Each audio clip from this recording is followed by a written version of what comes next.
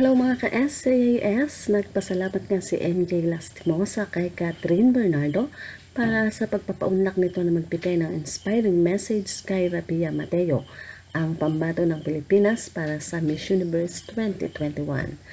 Ayon kay MJ, masayang masaya si Rabia na makatanggap ng last minute message sa actress. Thank you love for making at Rabia Mateo happy, motivated, and inspired with your last minute good luck video from you.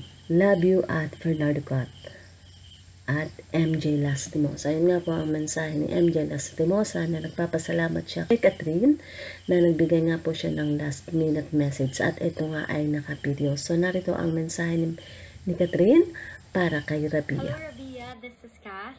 MJ told me that she'll interview you, so I just want to make it extra special by saying hi and by saying congratulations for everything that you've done.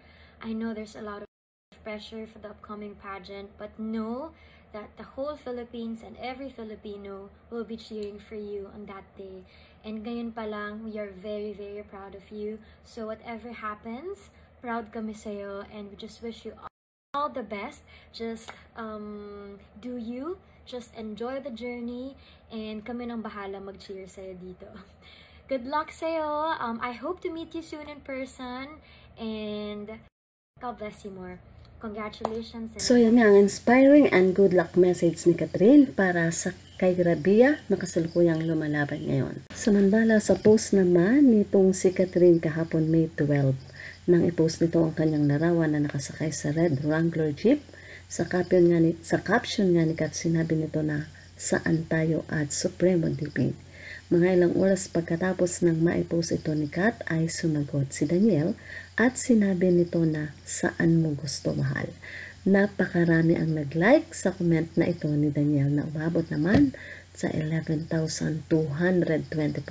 Nasiyahan sila at kinilig malamang sa sagot na ito ni Daniel Padilla. So mga ka-SCIS, yan po ang ating balitaan. Ito nga pong si MJ Lastimosa ay nagpasalamat kay Kat na nagbigay po ng inspiring message sa representative ng Miss Universe ng Pilipinas na si Rabia Mateo. Ano po ang masasabi nyo sa update na ito? Just comment below at syempre huwag kakalimutang mag-like, share, and subscribe. Hanggang sa muli, lagi pong paalala, ingat ang lahat. God bless everyone.